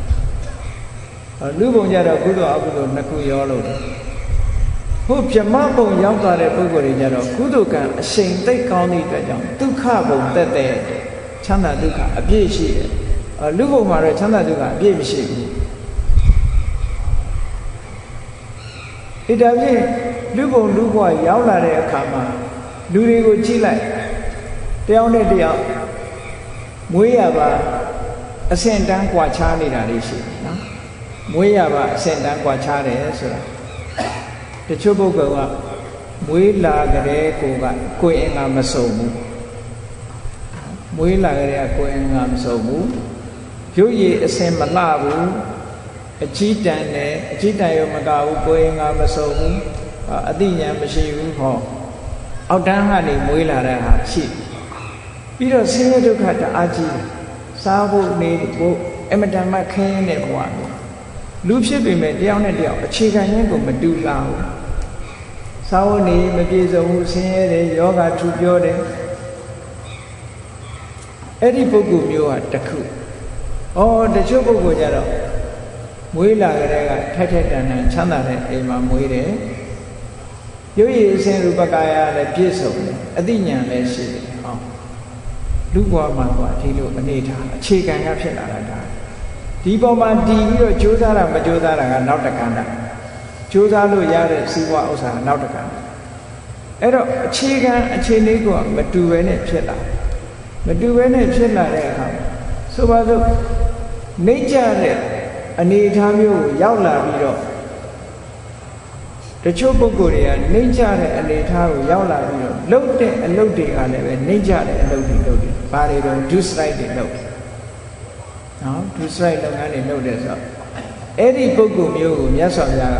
အမှောင်ထဲကအမှောင်ထဲသွားမဲ့ပုဂ္ဂိုလ်မျိုးလို့ဒီလိုခေါ်တယ်။သူနေတာလည်းအမှောင်ထဲမှာရောက်တယ်။သူလုပ်နေတဲ့အလုပ်တွေကလည်းပဲအမှောင်ထဲရောက်ဖို့အလုပ်တွေကြီးပဲ။ တဖြည်းဖြည်းမှောင်သွားမယ်လို့ဆိုအေးတချို့ပုဂ္ဂိုလ်ကြတော့ခဏတော့ပြည့်ပြည့်စုံစုံနဲ့ဘဝမှာအသိဉာဏ်လည်းရှိတယ်ရုပ်ရည်ပကာယလည်းပြည့်စုံတယ်သို့တော်လည်းအဲ့ဒီပုဂ္ဂိုလ်ကဒုစရိုက်တွေလုံနေပြီဆိုလို့ရှိရင်ဒီပုဂ္ဂိုလ်ကအလင်းထဲကနေပြီးတော့အမှောင်ထဲနေတဲ့ပုဂ္ဂိုလ်ဖြစ်သွားတယ်ဒါလည်းရှိတယ်လေတချို့ရုပ်ရည်ပကာယလည်းပြည့်စုံတယ်ဒီကောင်းဖခင်သာသမီလည်းဖြစ်တယ် ခိုးဆိုးနေတာမျိုးကြလို့ရှိရင်မကောင်းတဲ့ဒုစရိုက်တွေပဲဝါသနာပါပြီးလုံနေလို့ရှိရင်ဒါအမှောင်အလင်းလဲရောက်ရတဲ့နဲ့အမှောင်ထဲသွားနေတဲ့ပုဂ္ဂိုလ်ပဲအေးဒီဘဝမှာဒီကောင်းကောင်းရင်သာသမီဖြစ်ပြီးတော့ကိုရင်ကပြည့်ပြည့်စုံစုံနဲ့ရောက်လာပြီးတဲ့အခါမှာကောင်းတာတွေကြီးပဲလုပ်မယ်ဆိုလို့ရှိရင်အလင်းထဲမှာနေပြီးအလင်းသွားမဲ့ပုဂ္ဂိုလ်အဲ့တော့ ကိုနေတာဟာအလင်းထဲနေပြီးတော့အလင်းထဲကိုသွားဖို့အလုပ်အလင်းထဲမှာပဲနေဖို့အရေးကြီးတယ်ပေါ့ဒါကတစ်ချက်ပေါ့ခုနမဟာနာမဘုရင်ကြီးကမြတ်စွာဘုရားကိုမေးတာအရှင်ဘုရားတဲ့တပည့်တော်တို့နေကြထိုင်ကြတာတယောက်နဲ့တယောက်မတူဘူးဗျာဘယ်နည်းနဲ့နေရင်ကောင်းမလဲလို့ဆိုတော့မြတ်စွာဘုရားကအေးဒီမေကွန်အလွန်ကောင်းတယ်နေနီးကားကိုမြတ်စွာဘုရားကဆုံးမဩဝါဒပေးအကြံပေးတယ် ဒါကအတော်အဆင့်မြင့်တဲ့နေနီးကားတစ်ခုမြတ်စွာဘုရားအကြံပေးအဲ့တော့အခုလိုနေနီးကားနဲ့နေနိုင်အောင်လူဆိုတာအကြီးချင်းကလိုအပ်သေးတယ်နော်အလုတ်တာဝန်တစ်ခုကိုလုပ်ပြီဆိုရင်အကြီးချင်းကအရေးမကြီးဘူးလားတာဝန်တစ်ခုထမ်းဆောင်တော့မယ်ဆိုရင်ထိုတာဝန်နဲ့ထိုက်တန်တဲ့အရေးချင်းရှိဖို့လိုတယ်လေ အခုလည်းပဲအစင်းမြင့်တဲ့နေနီးကနေတော့မယ်ဆိုရင်အဲ့ဒီအတွက်လိုအပ်တဲ့အရေးချင်းတွေကဘာတော့ဆိုမြတ်စွာဘုရားကတတ္တာလို့ခေါ်တဲ့ကိုယ့်အလုပ်ပေါ်မှာကိုယ်ယုံကြည်ချက်ရှိရမယ်ဒါဟာအရေးကြီးတယ် confidence လို့ယုံကြည်ချက်ရှိရမယ်ယုံကြည်ချက်မရှိရင်မအောင်မြင်ဘူးတဲ့ယုံကြည်ချက်ရှိမှအောင်မြင်တယ်လောက်တစ်ခုပါဒါယုံကြည်ချက်ရှိရမယ်ဒါယုံကြည်ချက်မရှိသေးရင်ရှိအောင်လုပ်ရမယ်ရှိရင် ခိုင်မာလာအောင်လုပ်ရမယ်ယုံကြည်ချက်ဘယ်အရာမှသူ့အတူဖြစ်လာတာမဟုတ်ဘူးလေ့ကျင့်ယူရတာရှိနော်အာဂစားသမားတယောက်တွေကြီးပေါ့အာဂစားသမားတွေအမြဲလေ့ကျင့်နေရမလေ့ကျင့်မရဘူးလေဟုတ်လားစစ်တပ်ထဲမှာအမှုထမ်းတာတို့ရဲထဲမှာအမှုထမ်းတာလေ့ကျင့်နေကြတာပဲနော်အမြဲတမ်းလေ့ကျင့်ကျမ်းမာရေးလူကျင်တဲ့ပုဂ္ဂိုလ်လေ့ကျင့်ကြောင်းတက်တဲ့ကလေးတွေရော လေ့ကျင့်နေရတာပဲဖတ်အဲ့တော့လေ့ကျင့်မှုဟာအည်သွေးရဖို့လုပ်တာဒါကြောင့်မို့လိုအပ်တဲ့အည်သွေးတစ်ခုရဖို့ရအတွက်လေ့ကျင့်ရမယ်နံပါတ်1လိုအပ်တဲ့အည်သွေးက confidence လို့ခေါ်တဲ့တတ်တာအဲ့ဒီ confidence ဆိုတဲ့တတ်တာမရှိဘူးဆိုရင်သူ့လုပ်ငန်းမအောင်ဘူးတဲ့လုပ်ငန်းအောင်မြင်မှုအတွက် confidence ရှိရမယ်ဒါတစ်ခုနောက်တစ်ခုက ယုံကြည်ချက်ရှိုံနဲ့မပြီးသေးဘူးကြိုးစားရမယ်လုံလဝိရိယရှိရမယ်ဒါတစ်ခုအဲ့တော့လုံလဝိရိယရှိမှအောင်မြင်တယ်လုံလဝိရိယမရှိရင်မအောင်မြင်ဘူးဆိုတာလောကမျက်မြင်အားဖြင့်လည်းထင်ရှားတယ်လေအရာရာမှာရှင်ပြိုင်မှုနဲ့ကြိုးစားနေကြတာမကြိုးစားမရဘူးဒါကတော့သိချာနော်ကြိုးစားအထုတ်တဲ့ပုဂ္ဂိုလ်ကိုထိတ်တန်းရအောင်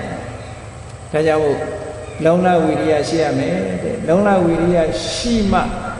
အောင်မြင်တယ်လုံလဝိရိယမရှိရင်မအောင်မြင်ဘူးတဲ့ဒီကိစ္စနောက်တစ်ခုဘာရှိဖို့လိုလို့ဆိုတော့တတိကြိုးစားတဲ့အခါမှာတတိရှိဖို့လိုသေးတယ်အရန်ကြိုးစားလို့လည်းမရဘူးเนาะ တတိရှိရှိကြိုးစားဖို့ဒါကြောင့်မို့တတိဆိုတာ mindful ပေါ့ကိုလုံးရမယ့်အလုပ်တစ်ခုပေါ်မှာ mindful ဖြစ်နေရမယ်ဒီနေ့လုပ်တဲ့လက်ဖြင့်ကလှုပ်ချင်မှလှုပ်မယ်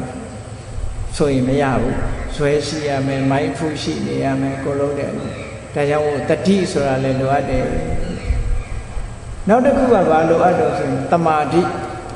တမာတိဆိုတာစိတ်တည်ငြိမ်တာလူတယောက်ဟာစိတ်မငြိမ်ဘူးခဏမငြိမ်ဘူးဆိုရင်ဒီပုဂ္ဂိုလ်အောင်မြင်မှုမရနိုင်စိတ်တည်ငြိမ်မှုအဝတ္တမအရေးကြီးတယ်တရားထုတ်မှတမာတိရှိရတာမဟုတ်ဘူးဘယ်နေရာမှာဆိုတမာတိရှိရစိတ်တည်ငြိမ်မှုမရလို့ရှိရင် မအောင်မြင်နိုင်ဘူးကိစ္စတွေဒါကြောင့်မို့လို့အာယုတစ်ခုတည်းပေါ်မှာစိတ်ကတည်ငြိမ်နေတာမျိုးစိတ်လွင့်နေတာမျိုးမဖြစ်စေရဘူးစိတ်တည်ငြိမ်မှုဆိုရဲတမာတိဟာစွမ်းအားတစ်ခုပဲတမာတိမရှိရင်မအောင်နိုင်ဘူးတမာတိရှိမှအောင်တယ်နောက်ဆုံးလိုအပ်ချက်တစ်ခုကဘာလို့ဆိုပညာဒါတော့သိအရေးကြီးပညာဆိုတာလှုပ်တင်တာလားမလှုပ်တင်ဘူးလားဟော ဒီနှစ်ခုကိုခွဲခြားပြီးတော့သိရ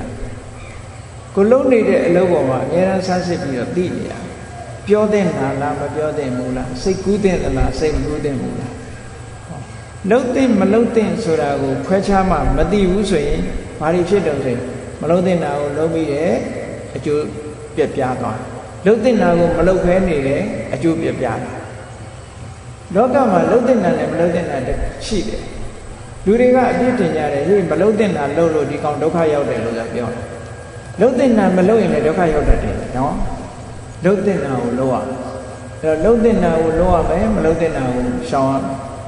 အဲ့ဒါမှအကျိုးစီးပွားတစ်ခုရနိုင်တယ်ပညာကတော့အဆင့်ဆင့်တစ်ခုပြီးတစ်ခုမြင့်သွားတယ်ပညာမျိုးရှိဖို့လိုတယ်ပေါင်းလိုက်တော့ဒီအည်သွေး၅ရက် မိမိရဲ့စိတ်ဓာတ်ထဲမှာဒီအည်သွေး၅ရက်နဲ့ခိုင်မာအောင်တိဆောက်ပြီးတဲ့အခါကျတော့ဘယ်လိုနေမလဲဘာနဲ့နေမလဲဘာနဲ့ခုနကတရားကောင်းစဉ်ပေးခဲ့တယ်ဓမ္မအတိနဲ့နေမယ်ကဲဓမ္မအတိဆိုတာအမေတန်ကျေပြတဲ့စကားဘုရားမြတ်စွာကနေစရာအာယုန်လေးတွေကိုပေးထားနေစရာအာယုန်ကလည်းပဲအမတန်လွယ်ပါတယ် ဘုရားကိုကြည်ညိုကြတဲ့ဥပဒကဥပဒိကမတွေဆိုလို့ရှိရင်ဘုရားမြတ်စွာရဲ့ဂုံအည်သွေးတွေကိုအလုံးသိနေကြတယ်အဲ့တော့မြတ်စွာဘုရားရဲ့ဂုံကိုအာယုန်ပြုပြီးတော့ဒီလိုနေလို့ရမြတ်စွာဘုရားရဲ့ဂုံကိုအရဟံသမ္မာသမ္ဗုဒ္ဓဝိသန္တသမ္မာတော်တစ်ခုစီတစ်ခုစီဘုရားရဲ့ဂုံပေါ်တဲ့ပေါ်လာအောင်အသိဉာဏ်နဲ့စဉ်းစားလို့ပို့ပြီးတော့နားလည်အောင် လေးလာဖတ်ရှုပြီး မြတ်စွာဘုရားရဲ့ဂုံတွေကိုနှလုံးသွင်းဆင်ခြင်ပြီးတော့နေတာ။နဲဆုံးဒီရုပ်တုတော်ကြီးကစပြီးတော့ရုပ်ပုံကနေစပြီးတော့ဟိုမြတ်စွာဘုရားတကယ်ကိုတော်မြတ်ရဲ့တည်ငြိမ်တဲ့ဒီစွမ်းအားတွေသီလဂုဏ်တွေတမာရီဂုဏ်တွေပညာဂုဏ်တွေဒါတွေကိုအာယုပြုနိုင်အောင်လုပ်ရမယ်နော်အဲ့တော့ဘုန်းကြီးတို့ ဒီဂျာမနီကိုနှစ်ဆင်သွားပြီးတော့ပြီးတော့မှသင်တန်းပို့ချအဲဂျာမန်မျိုးသမီးကြီးတယောက်ကရှောက်ပို့တယ်သူကငကောကဘုရားဘာသာမဟုတ်ပါဘုရားဘာသာမိသားစုကမဟုတ်ခုတော့ဘုရားဘာသာဆွစစ်ဖြစ်သူကဘာပြောလို့ဆိုရင်ဘုရားရဲ့ရုပ်ပွားတော်ကိုဖူးလိုက်ရလို့ရှိရင်စိတ်ထဲမှာတိတ်ချီနူးတယ်တည်ငြိမ်တဲ့မျက်နှာတော်နဲ့ထိုင်းနေတာကိုကြည့်ရတယ် အလွန်ကိုစိတ်ထဲမှာကြည်နူးမှုရတယ်လို့ဘုန်းကြီးကိုပြောမှုတယ်နောက်ဂျမန်အမျိုးသမီးကြီးတယောက်ကဗမာပြည်ကရုပ်ပွားအဲ့ဒီဗမာပြည်ကရုပ်ပွားတော်လေးဆင်းတုတော်လေးသူတခြားနိုင်ငံတနိုင်ငံကဝယ်တွေးလို့ဝယ်ထားတယ်နဲ့သူပါရုပ်ပွားကတော့ဗမာပြည်ကရုပ်ပွားမယ်အဲ့ဒီရုပ်ပွားဆင်းတုတော်လေးကိုသူသွားရအရက်ပြင့်သွားတ စ်တန်နဲ့ထည့်ပြီးသွားရအရက်ပြင့်သူနေတဲ့နေရာမှာအဲ့ဒီရုပ်ပွားဆင်းတုတော်လေးတင်ထားပြီးတော့ဒီရုပ်ပွားဆင်းတုတော်လေးကိုအာယုံပြုပြီးတော့သူနေတယ်ဒါလေးရုပ်ပွားတော်လေးကိုဖူးနေရရင်သူ့စိတ်ထဲမှာချီးနှူးနေတယ်ပုံတော်ကနေပြီးတော့နောက်ဂုံတော်ထိအောင်ရပုံတော်ပဲဖူးဖူးဂုံတော်ပဲဖူးဖူးပုံတော်ဆိုတာပကားဝါထဲမှာပါတာပေါ့နော်အေးအဲ့တော့ မြတ်စွာဘုရားသခင်ကိုရောမြတ်ရဲ့ဂုံကိုအာယုံပြုပြီးတော့နေလိုက်တဲ့အခါမှာဘုရားကိုအာယုံပြုနေတဲ့အချိန်မှာတရားချစ်ခင်သူတော်စင်ပြိဿတို့စဉ်းစားကြည့်အဲ့ဒီအချိန်မှာလောဘစိတ်ကြီးဖြစ်သလားဖြစ်ဒေါသဆိုတဲ့အမုန်းတရားတွေဝင်လာသလားဘုရားကုံနဲ့နဲ့ပတ်သက်ပြီးတော့တွေးဝေးနေတာမျိုးရှိသလားမရှိဘူးဆိုတော့ လောဘလည်းဖြစ်မလာဘူးဒေါသလည်းဖြစ်မလာဘူးမောဟလည်းဖြစ်မလာဘူးဆိုတော့အကုသိုလ်တွေအဲ့ဒီချိန်မှာတည်ငါအဖြစ်ငြိမ့်နေတယ်လို့ပြောတာနော်ငြိမ့်နေတယ်ဒီအကုသိုလ်ဆိုတဲ့ဒီတဘာဝတရားတွေကငြိမ့်နေလို့ငြိမ်သွားလို့ရှိရင်ကဆက်ငြိမ်သွားခဏခဏဖြစ်နေရင်လှုပ်ရှားပြီးထားကြွတယ်သူယောဂများလို့ကငြိမ်နေမလှုပ်ရှားဘူး non active ဆိုလို့ရှိရင်အဲလှုပ်တော့ မလှုပ်ရင်အနေမရှိဒီအကုသိုလ်တွေကလည်းပဲထို့တူပဲလောဘကရှိနေပေမဲ့လို့ခုနကငြိမ်သွားလို့ရှိရင်သူ့ရဲ့လှုပ်ရှားမှုမလားမလာရင်မတော့ကလည်းမဖြစ်ဘူးဝစီကံလည်းမဖြစ်ဘူးကာယကံလည်းမဖြစ်ဘူးဝစီကံကာယကံဒါတွေမမြောက်ဘူးဆိုလို့ရှိရင်သူ့ရဲ့ action လာတော့ဒါကိုပြောတာစာပေကျမ်းကမှာပါဠိလို လောဘပရိယုဋ္ဌာဏစိတ်တဏ္ဍဟောတိစိတ်ထဲမှာလောဘဖြစ်မလာဘူးတဲ့ဘုရားကုံကအာပြုဒေါသဖြစ်မလာဘူးမောဟဖြစ်မလာဘူးဘုရားကုံထဲမှာပဲစိတ်ကတဖြောင်းနဲ့ကြည်နူးနေတယ်အဲကြည်နူးနေတဲ့ကဘာဖြစ်တော့ဆိုစိတ်ထဲမှာဝမ်းသာဘုရားကိုအာရုံပြုနေအလုံးခံစားမှုပါလိမ့်မယ်ဘုရားကိုအာရုံပြုပြီးနေလိုက်တဲ့အချိန်မှာဝမ်းသာမှုတွေဖြစ်လာ ကြည်နူးမှုလေးတွေဖြစ်လာဝမ်းသာမှု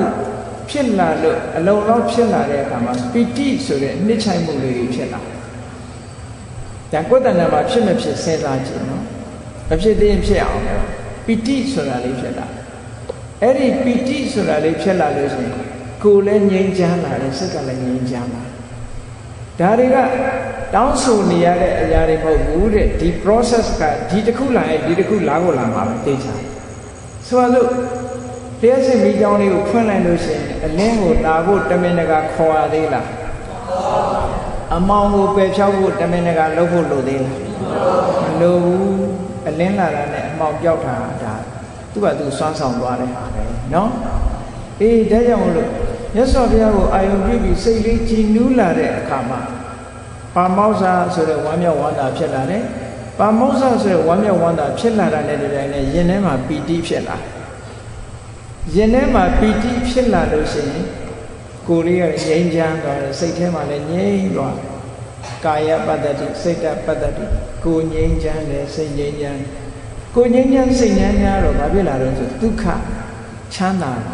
စိတ်ထဲမှာချမ်းသာချမ်းသာတော့ဘာဖြစ်တော့စိတ်ကလေးငြိမ်သွားတယ် ဒါအခုလက်တွေ့ချက်ချင်းရနိုင်တဲ့အကျိုးလေးနေ့စဉ်ဘဝမှာအဲ့ဒီလိုနေမယ်ဆိုလို့ရှိရင်စိတ်ကလေးတည်ငြိမ်မှုလေးရဖို့ဟာဒါအရေးကြီးတခါတရံကျတော့တစိုးတစိုးသောအကြောင်းကြောင့်လူတွေမှာစိတ်မတည်ငြိမ်ဘူးလေတောကဖြစ်စရာတွေကြုံတယ်နော်ဒေါသဖြစ်စရာတွေကြုံတယ်အမျိုးမျိုးပြဿနာကြုံလာတဲ့အခါမှာစိတ်တည်မတည်ငြိမ်ဘူးအဲမတည်ငြိမ်လို့ရှိရင်အခုလိုဘုရားကုံကိုအာယုံပြုပြီးတော့နေလိုက်မယ်ဆိုရင်စိတ်လေးကတည်ငြိမ်ပြီးတော့ ငြိမ်ချမ်းသွားဒီနည်းကိုမသိတဲ့ပုဂ္ဂိုလ်တွေကြတော့တခြားနည်းနဲ့တည်ငြိမ်အောင်လုပ်ကြတယ်အိတ်ဆေးတွေတောက်တယ်တို့ဝင်းဆေးတွေလုပ်တယ်တို့ဆိုဟောဒီကနေပြီးတဆင့်ဆက်ပွားလာတဲ့အကျိုးဆက်တွေကအများကြီးမကောင်းတဲ့အကျိုးတွေဆက်ခံရများတရားဓမ္မမှာ side effect မရှိဘူးဟာလားဘေးထွက်ဆိုးကျိုးဆိုတာမရှိဒီတည်ငြိမ်မှုကဘေးထွက်ဆိုးကျိုးမရှိဘူး တခြားစိတ်ငြိမ်စေးတွေတို့ drug တွေတို့အဲ့ဒါတွေကတော့ဘေးထွက်ဆိုးကျိုးတွေအများကြီးလာတယ်အဲ့ဒီနည်းနဲ့စိတ်တည်ငြိမ်အောင်ကြိုးစားရင်တော့ဒုက္ခရောက်တယ်နော်ဟောတရားဓမ္မနဲ့တည်ငြိမ်အောင်ကြိုးစားလိုက်လို့ဆိုရင်အဲ့ဒီဘေးထွက်ဆိုးကျိုးမရှိပဲနဲ့ထာဝရငြိမ်းချမ်းတဲ့ငြိမ်းချမ်းမှုကိုရတယ်ဒါမြတ်စွာဘုရားကမဟာနာမကိုကြံပေးတာမင်းခုနကအည်သွေး၅ခုနဲ့ပြည့်စုံအောင်လုပ်ပြီးလို့ရှိရင်ဘုရားကိုအာရုံပြုလိုက် ပြုလိုက်တဲ့အချိန်မှာမင်းစိတ်ကဝမ်းမြောက်ဝမ်းသာတွေဖြစ်လာလိမ့်မယ်လောဘတွေဒေါသတွေမောဟတွေငြိမ်သွားလိမ့်မယ်ငြိမ်သွားတဲ့အခါမှာဝမ်းဝမ်းမြောက်ဝမ်းသာတွေဖြစ်လာလိမ့်မယ်ပူတယ်ဆိုတာလောဘကြောင့်ပူတာလေဒေါသဖြစ်လာရင်ငြိမ်မမလားငြိမ်မှုလေကိုယ့်ဘာကိုယ်ဒေါသဖြစ်လာတယ်ဆိုရင်မငြိမ်တာထင်ရှားတယ်လောဘဖြစ်ရင်လည်းဟိုဟာလိုချင်ဒါလိုချင်ထလာရင်မငြိမ်မှုသူကလည်းလှုပ်ရှားတာပဲမောဟဆိုတာကြတော့ကို လိုထင်ဒီလိုထင်အမှန်မမြင်တာဒါလည်းသူကလည်းငြိမ်တာမဟုတ်ဘူးအဲ့တော့မငြိမ်တဲ့သဘာဝတရားတွေဟာဒီဘုရားရဲ့အာယုံကိုအာယုံပြုရာကနေစိတ်ကလေးငြိမ်ကြသွားသမာဓိရကဲနောက်တနည်းရှိသေးလားဆိုမြတ်စွာဘုရားဆက်ဟောတယ်နောက်တနည်းကဘုရားကုံကိုအာယုံမပြုဘူးဆိုလို့ရှိရင်ဓမ္မကုံကိုအာယုံပြုကြည့်လိုက် သွားခါတော့ဘဂဝတာဓမ္မဘုရားဟောထားတဲ့တရားတွေမှန်ကန်တယ်တန်တေကြည့်ကိုကိုယ်တိုင်ကြည့်လို့ရတယ်ကိုယ်တိုင်မြင်နိုင်တယ်အကာလိကောခုချင်းအခုချမ်းသာတယ်အခုစိတ်ထဲရောက်အခုချမ်းသာချိန်ဆိုင်ကြရမလို့မဲ့ကုသိုလ်တို့ဆိုရင်အခုမဲ့ကြရင်ဖိုဝချိန်ဆိုင်ကြရမလို့ချက်ချင်းအကျိုးရတယ်အေဟိပတိကောတကယ်အစစ်မှန်ဖြစ်လို့ဘယ်သူကိုပဲဖြစ်ဖြစ်ဖိတ်ခေါ်ပြီးတော့ပြတိုက်တယ် ဩပတ္တိကောတခဏလေးပဲဖြစ်ဖြစ်စိတ်ထဲမှာနှလုံးသွင်းလိုက်လို့ရှိရင်ရင်ထဲမှာငြိမ့်သွားတယ်ပစ္စဒံဝိရိတဘောဝိညုကိုကျင့်တာကိုပဲသိလို့ရတယ်ကိုကိုယ်တိုင်ခံစားလို့ရတယ်အဲတရားကုံတော်တွေကကိုကျင့်တတ်တဲ့အရာလေးတစ်ခုကိုနှလုံးသွင်းပြီးတော့ဩတရားရဲ့သဘာဝတွေကအလွန်ကြည်နူးစရာကောင်းတာပါလားလို့အာယုပြုနေမယ်ဆိုရင်ခုနကပြောတယ်လောဘဖြစ်အောင်မလားမဖြစ်ဘူး ဒေါသလည်းမဖြစ်ဘူးမောဟလည်းမဖြစ်အလုံးငြိမ်ကြသွားငြိမ်သွားတာကိုအကြောင်းပြုပြီးတော့ဝမ်းသာမှုဖြစ်လာတယ်ဝမ်းသာမှုဖြစ်ရင်ပီတိဖြစ်လာမယ်ပီတိလိုက်လာမယ်ပီတိလိုက်လာလို့ရှိရင်ကိုယ်စိတ်တွေငြိမ်ချမ်းလာမယ်ကိုယ်စိတ်တွေငြိမ်ချမ်းလာတဲ့အခါကျတော့ချမ်းသာလာမယ်အဲ့ဒီအချိန်မှာနာရကျင်နာကြိုက်တာခဲတာတွေလည်းအကုန်ပြောက်တင်းရှင်းတွေလည်းအကုန်ပြောက်ပြီးတော့ဟောစိတ်ကလေးကငြိမ်ကြသွားတယ်တမာရိယသွားတယ် အဲ့ဒီမှာမြတ်စွာဘုရားကဘာပဲရှိတယ်ဆိုဝိသမပတ္တာယကစားယသမပတ္တောဝိဟရတိအေးမငြိမ်းချမ်းတဲ့တ attva တွေထဲမှာငါငြိမ်းချမ်းအောင်နေနိုင်တယ်ပေါ့ဟုတ်လားအလုံးကပူလောင်နေတဲ့ထဲမှာငါငြိမ်းချမ်းအောင်နေနိုင်တယ်လို့အပြပိစ္ဆ ဗျာပိစ္ဆာယပရိပဇာယတ attva တွေအလုံးဒုက္ခရောက်နေတဲ့ထဲမှာငါချမ်းချမ်းသာသာနေနိုင်တယ်လို့ဒီလိုပြောလို့ရတယ်။ပစ္ဆာရှိုံနဲ့ချမ်းသာတာမဟုတ်ဘူးလို့တိုက်ကြီးနဲ့ကားကြီးနဲ့နေုံနဲ့ချမ်းသာတာမဟုတ်ဘူးစိတ်ပူပန်းနေရရင်ချမ်းသာတာပဲဟုတ်မလဲအေးဒါကြောင့်မို့ရသော်ဘုရားကနေနီးကဘယ်လိုနေရမလဲဆိုရင်လောကမှာအကျိုးရှိရှိနေဖို့ဒီလိုနေနိုင်အောင်ကြိုးစားပါ ကဲတရားကုံကိုအာယုံမပြုဘူးဆိုရင်အရိယာတန်ခါတွေကိုအာယုံပြုလိုက်သုတ်ပတိပန်တော့မင်္ဂန်နဲ့ကျင့်ကျင့်ရတယ်ဥစုပတိပန်တော့ဖြောင်းဖြောင်းမတ်မတ်ကျင့်ရတယ်ညာယပฏิပန်တော့နိမလမှန်ကျင့်ရတယ်။တာမိစိပฏิပန်တော့မှန်မှန်ကန်ကန်ကျင့်ရတယ်။အဲ့ဒီတိုင်မဂ္ဂင်ရှင်ပါအကျင့်တရားကိုကျင့်သည့်အတွက်ကြောင့်အာဟုနေရောလူတိုက်တန်းတိုက်လာတဲ့ပါဟုနေရောနော် လက်ဆောင်တွေထိုက်တန်းလာတဲ့ဒိုက်ခိနေရောအလှူဒန်းတွေကိုလက်ခံတိုက်လာတဲ့ရည်စူးလူတဲ့လက်အလှူဒန်းတွေကိုလက်ခံတိုက်လာတဲ့အနုတ္တရပုံညခိတံလောကတာလောကကြီးတစ်ခုလုံးရဲ့ကုသိုလ်စိုက်ပျိုးတဲ့မြေခွက်ကြီးဖြစ်လာတယ်ဒီလိုဆိုအဲ့ထဲကတန်ခါကုံကိုအာရုံပြုပြီးတော့ကြည့်လိုက်မယ်ဆိုလို့ရှိရင်လည်းခုနက အာယုံပြုနေတဲ့အခိုက်မှာဆိုရင်လောဘဒေါသမောဟမလာဘူးမလာရင်စိတ်ငြိမ်းချမ်းပြီးတော့ခုနအကျိုးတွေအဆက်ဆက်စိတ်တည်ငြိမ်သွားအောင်ဒီထီအောင်အဆင့်ဆင့်ရောက်သွားမှာပဲကဲအဲ့ဒါလို့မဟုတ်ရင်နောက်တစ်ခုပါတော့ဆိုရင်ကိုယ်တီလကိုယ်စင်နေ့စဉ်မှာလူ့ကြောင့်နေဆို၅ပါးတီလအဲ့တော့၅ပါးသီလဆိုတာသိအရေးကြီးတာနော်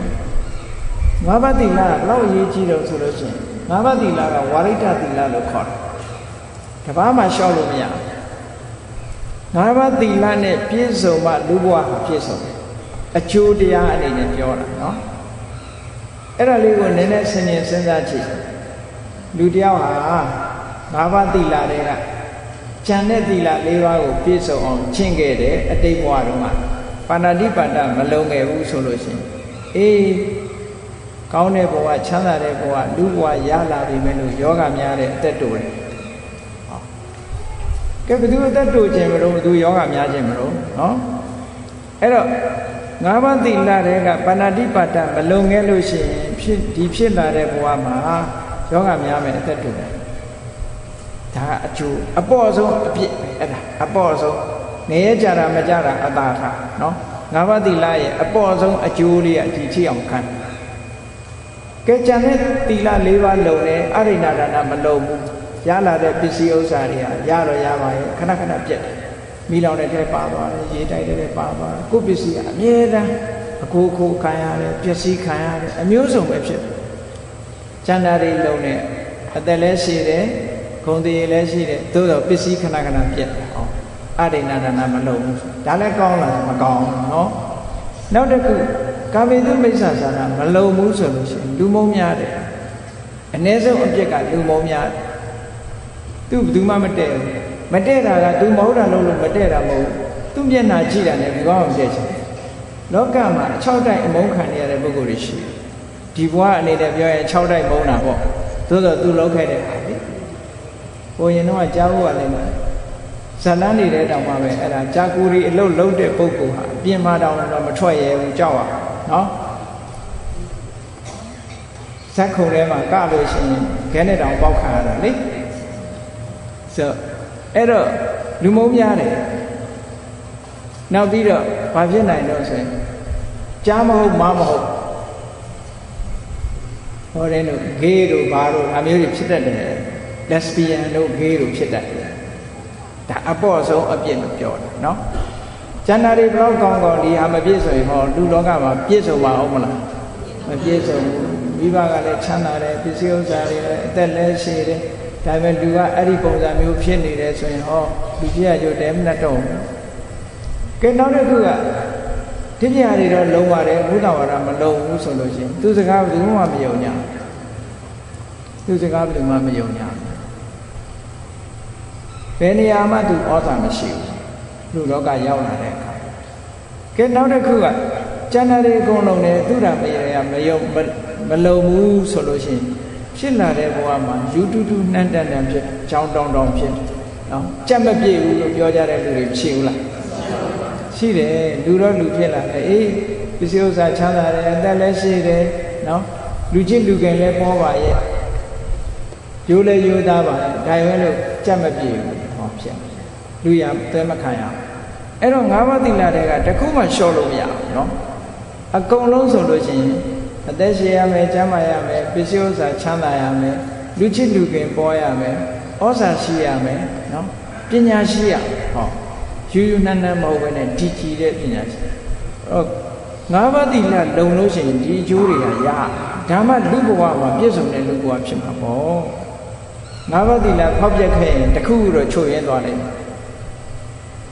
အေးကိုယ်သီလလေးကိုကိုယ်ဆင်ခြင်ကြည့်လိုက်လို့ရှိရင်အော်ကျိုးတာပေါက်တာကြားတာမရှိဘူး ပါဏာတိပါဒဆိုလို့ရှိရင်သိစီလိုတဲ့စိတ်နဲ့ဘယ်တတ္တဝါကိုမှငါမတတ်ဘူးအရိဏဒါနဆိုတာသူများပစ္စည်းကိုလည်းပဲငါမတရားသဖြင့်မယိုးသားတဲ့စိတ်နဲ့ဘသူစီရမှမယူကာမိတုမိစ္ဆာစာရဆိုတာနဲ့လည်းလုံးဝရှောင်ခြင်းနဲ့ဝိသဝါဒဆိုတာလည်းရေစရာအနေနဲ့တော့ငါမပြောဘူးမှန်မှန်ပဲပြောတယ်နော်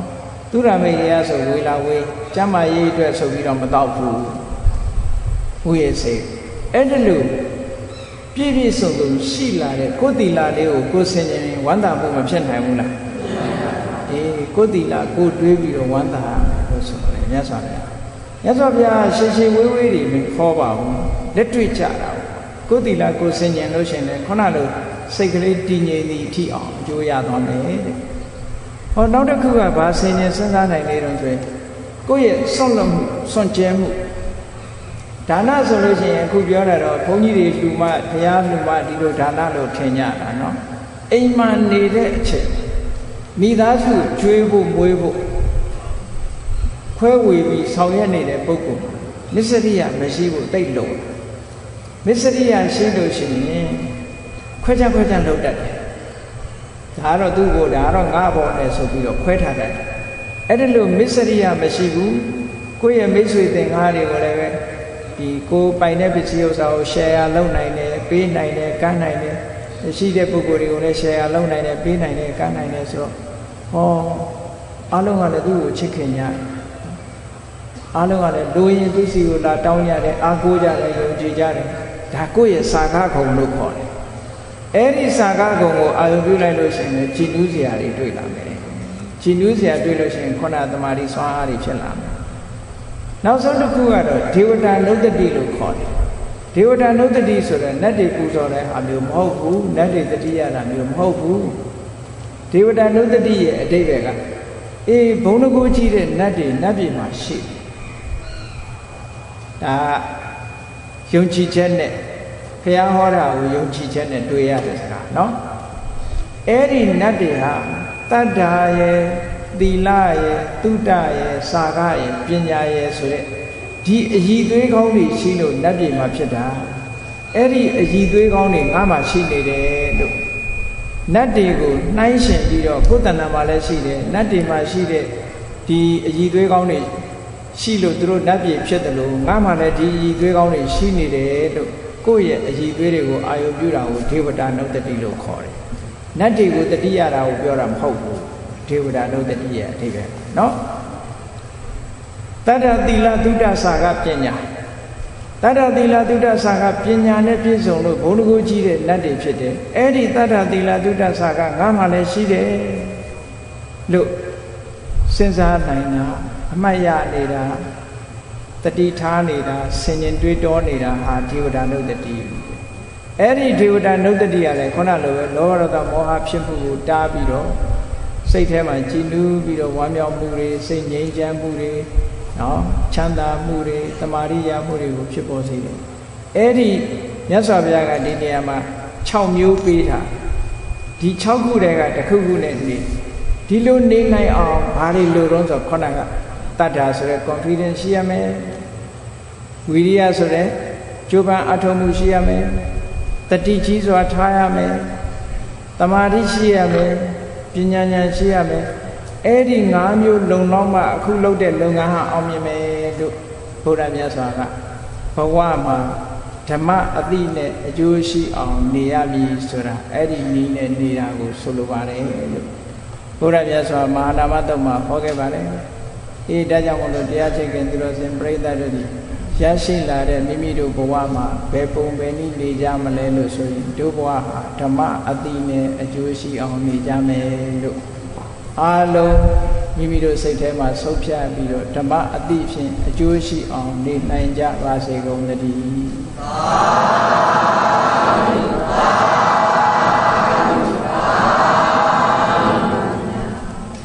မေတ္တာပို့ရအောင်တတ္တဝါများစွာေး ဝေယံကွာဝေယံကွာချမ်းသာကြပါစေချမ်းသာကြပါစေမေတ္တာရေချမ်းမေတ္တာရေချမ်းသုံးပါးဖြံသုံးပါးဖြံ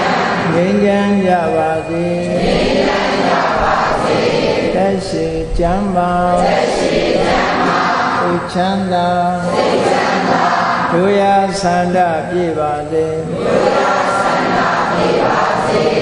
ဓမ္မောတရံပိဝိတဝါနဝိတာတဗ္ဗေတမုဟတာအစရမရာတိတိဘာဝနိဗ္ဗာနံယန္တုတာရောဓမ္မောတရံလောဘဒေါသမောဟစိတ်တောင်းကင်းပြောက်ကြည်တရားစေကိုပိဝိတဝဝန္တာရှင်ပြတောက်ကြရနာကြရကုန်သောကြောင့်ဝိတာတဗ္ဗေပူဇာညစ်နောက်ကိလေသာအစရိတောဥဒ္ဓမြတို့သည် သမုအတပိကြပဲတွင်ရေမတင်တဲ့ကဲ့သို့ကင်စင်လွင်ပြောင်းပေမရောက်အောင်ပယ်ဖြောင်းအကုန်သည်ဟွန်တူစင်စစ်မသွေဖြစ်ကြပါစေကုန်သတည်း